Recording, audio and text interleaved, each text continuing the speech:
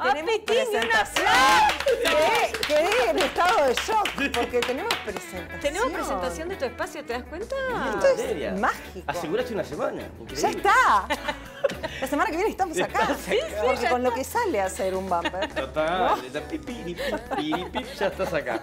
Bueno, qué alegría esto de recomendar Bueno, me libros. encanta Ay, que tenés, sí, traes muchos, muchos sí, libros. Traemos encanta. muchísimos libros para recomendar porque hoy la recomendación para este fin de semana, que es lo que quedamos en hacer, ¿no? Los viernes recomendar libros y lecturas, es con biografías. Me encanta. Excelente. A mí me Tuve encantan una época de biografías. biografías, de mujeres, no sé por qué. Estabas como Tenía veintipocos años y eran todo biografías de mujeres. Son, es divino, porque además hay tantas formas de contar la historia de una vida, ¿no? Total. Y hay miles de biografías. La biografía, la autobiografía. La autobiografía. me gusta Exacto, mucho también. exacto. O el escribir en primera persona y este por, por ahí eh, no ser la persona que sos, Claro. ¿no? La persona que, que estás eh, de alguna manera retratando. No sé, hay miles de maneras. La semana que viene ustedes van a tener con, con Diego Moraes y, Sí, y su sí. libro. Sí. Es eh, una ficción, es una biografía ficcionada. ¿No? No Mira. está en primera persona, pero sí es una biografía Ram 12. ficcionada sí, de. Alfredo Evangelista. Entonces ahí vamos a tener también otro viaje por la ficción. Pero hoy los que proponemos son los siguientes. Hay bastantes novedades. El primero es Todo es mentira, en la que Joaquín Doldán encara la vida de Cacho de la Cruz y la logra resumir a esto. Sí, sí, no, es imposible. Aplauso. Y aparte sí, aparte haciéndole a Cacho que digamos que no habla poquito, ¿no? ¿No? Por eso. Bueno, no, no. ahora, eh, Impresionante. yo no sé si siguen, pero yo me los crucé. eh, no quiero, en Universal me los crucé que estaban haciendo Están de haciendo. noche. Están estirando todo lo que no pudieron poner en el libro. Todo lo que no entró Ah, acá. Claro, a las 11 de la noche haciendo unas entrevistas de hablan de un poco, de la vida, de todo un poco, pero sigue como extendiendo la- las anécdotas que hay ahí. que hay acá. bueno. Y eh, lo que tiene de interesante es que él lo que hace es como hacer capitulitos, ¿no? Entonces va contando por capitulitos pedacitos, fragmentitos de la historia de, de Cacho. Entonces es interesante porque están como concentrados, ¿no? Cacho Qué y Olmedo, por ejemplo, Sí. ¿no? Este, No, Ah, mirá. Cacho y el carnaval, no sé. Entonces es interesante porque vas así como Qué por difícil debe pinceladas. haber sido elegir las anécdotas, por Dios. No sé. Qué trabajito. No sé. Qué trabajo, Doldán, qué trabajo. Impresionante. Está nominado, eh, no me acuerdo cómo se llama la categoría, creo que es biografías y algo más, eh, para los Bartolomé Hidalgo. Que se, Que se entregan entregan mañana. Se entregan mañana. Bueno, Bueno, eh, esto es Súper. Entrás y lo, lo sí, terminás. no, es Abrís y impresionante. se cierra. es sí. impresionante. Y, y ta, y es, es- bueno, va por la segunda edición, ¿no? Ya. Después este, que es fantástico también, ¿no? Es como también una reivindicación de alguna manera, ¿no? A la Sí. figura de Acho Garría, lo que representó para todos nosotros. Con la crisis del Claro. 2001. Guay. ¿no? Y, y lo, que, lo que él hizo, tomando ese ministerio en ese momento como fierro caliente y, y de alguna manera también conciliando a los uruguayos. ¿no? ¿Es una biografía, pero también desde la parte como humana o es estrictamente política? No, es de la sí? humana, es de la humana, está mucho de lo humano. Claro. Incluso habla de eso, de que era flaco y que él no era tan así, porque bueno, si pensamos en el hermano de Achugarri, no tiene nada que Claro, ver. sí. No, es un señor grande, Pablo Achugarri, ¿no? Este, enorme, El como artista, enorme. sí, sí, sí. Este, y no, sí, es, es un, un viaje muy interesante que además tiene... eh, en este caso, para mí es muy importante, la familia Achugarri está muy contenta con esta biografía de Bien. Mauricio Sabaj. Así Qué que bueno. tenemos este también. Muy bien. Por otro lado, nos vamos a otro lado, nos vamos a las tablas. Nos vamos a Ah, un este es buenísimo. personaje Roberto. Sí, sí, sí. increíble. Roberto Jones, Jones. uno de los grandes de la escena uruguaya. La, la portada de este libro, nosotros estamos viendo algunas cosas por ahí, pero yo se las muestro ahí. Miren lo que es esta portada.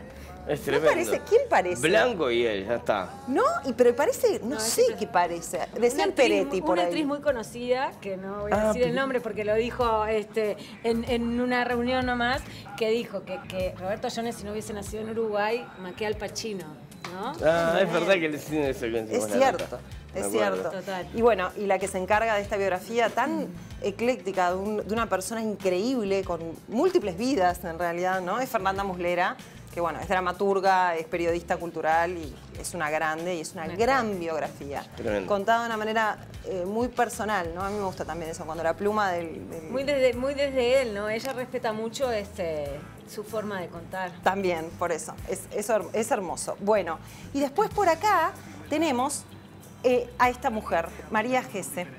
María Gese eh, arrancó con esto, es ilustradora, es ilustradora, es española. Arrancó con una biografía de Frida Kahlo escrita en primera persona. Ah, y bellamente ilustrada y fue un hit. Porque eh, tiene una sensibilidad, es increíble, porque ella es ilustradora, pero tiene una sensibilidad para contar las historias de vida que es impresionante.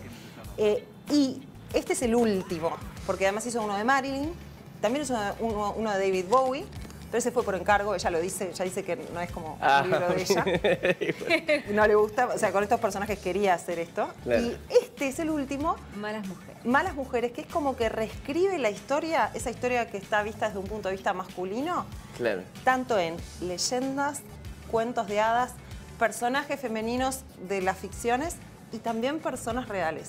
Mirá, Mirá. qué interesante. Y está ella acá. O sea, es Ah, parte se puso es- autobiográfica.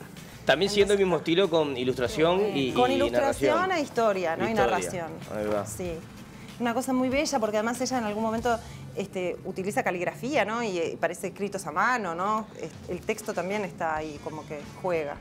En este caso no, pero en el otro, en el de, en el de, en el de, de Frida sí. Perfecto, Una divino. Una hermosura. ¿Recomendamos todos? Desde Esto- Eva hasta... Sí, desde Eva hasta, mira, acá por acá lo vemos, pues no me quiero, pero por ejemplo, Madame Bovary, ¿no? Gran Claro, personaje sí, de, la, de la literatura. Sarah Connor, que es la de Terminator. Claro, obviamente. Juana la Loca, Sí. Yoko Ono. Elena de Troya. Claro, ahí, no sé, ahí. en fin, todos. Y bueno, y arranca con Aurora, la Bella Durmiente. Ah, Ah. excelente. Que todos queríamos ser, ¿no? Todas así. Que nos vinieran a rescatar el tema de las A princesas. besar, que nos vinieran a besar. A rescatar. Y a besar. A rescatar, besar. Vos eras más. Yo era que me rescataran.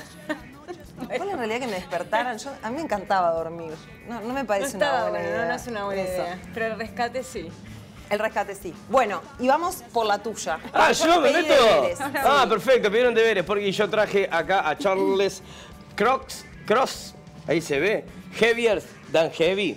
Esto quiere decir más pesado que el cielo, es un juego de palabras entre heavy y heaven, y es la biografía de mm, Kurt Cobain. Es un librazo, está, no sé ya ni, ni, qué edición es, porque tiene un nuevo prólogo también. Eh, es un libro que se ve que es grueso, pero es un libro que también te lo devorás porque cuenta toda la historia y te pone un poquito en contexto de quién fue Kurt Cobain y igual siempre sigue cada vez como pasa con estos personajes. El mito se hace cada vez más grande también. totalmente. No es que resuelve nada, sino que todo pasa a ser así, súper recomendable. Tiene lo que me gusta a mí, además de que tiene letritas, tiene fotos. Y que es una de las cosas que me gusta a mí, que tenga dibujitos. Bueno, no, pero las biografías también necesitan de fotos. Sí, Totalmente. sí, totalmente. Y bueno, y esta es la biografía de la vida de, de, de Noelia Campos, pero ¿qué pasó? Se perdió pasó? porque se desintegró. Se desintegró. Esta, esta fue este, un libro que nos dio mi madre a mí y a mi hermana cuando tendríamos, no sé, 15 años, una cosa así, mi vida de Isadora Duncan. Isadora Duncan fue una pionera de la danza moderna y la danza contemporánea eh, y una transgresora en su forma de vivir, ¿no? Una tipa que era muy transgresora. Eh, es maravilloso eh, que ella, por ejemplo, la madre, el padre los abandonó a ella y a los hermanos cuando eran muy pequeños, la madre decidió irse a Europa para buscar una mejor vida y fueron en un barco de ganado, como que se colaron ahí en el barco de ganado, y la madre en, en Londres tenía que trabajar y ellas las dejaban en un museo a, a Isadora día. y, y Isadora empezó a bailar bailando los, los cuadros del- de los museos. Veía las figuras y empezaba a bailar. Qué maravilla. Y después, bueno, tiene toda la vida de ella contada este, desde su punto de vista. eh, y bueno, fue un libro que me marcó. Entonces, por eso yo te, cuando vos me dijiste, tienen que recomendar una biografía, yo dije, ay, para mí la de Isadora Duncan. Y, pero no lo tengo, Eh. porque justamente era un libro muy viejo. Yo tengo otra recomendación para hacer, Sí. que es Para ahora. primero conseguiste. decir, agradamos- agradecemos a Puro Verso, que fueron los que encontraron, que encuentran lo que sea, lo que Ah, necesiten el libro, lo tremendo. Hoy, ahora, Eso. en minutos, a las 19.30, Benedetti, 60 años con luz. Una biografía en película. Hermoso, ¿no? Este, un documental hermoso Sí, de Andrés Varela, hermoso, hermoso, hermoso. Una con fotografía que es ridícula de lo lindo que es. documento y- unas entrevistas increíbles. Fotos Viajó que por antes todo el creo mundo. que tampoco se han visto, muchas fotos que no se han visto. Mucho material este que no se ha visto, inédito, y está armado de una manera eh, maravillosa y muy conmovedora, ¿no? Total. Siete y media, en la sala azul, acá, gratis. Y la presenta su director, Andrés Aprovechen. Varela, ¿verdad? Sí. Tienen Perfecto. 35 minutos para venir y Para y- llegar. para llegar y disfrutarla. Y nosotros no tenemos más minutos. No. No. Nos quedamos. Pero un muchas gracias. Me divino. encantaron las recomendaciones. Lean, vengan a la. Feria del Libro, pasen lindo. Sí. Gracias.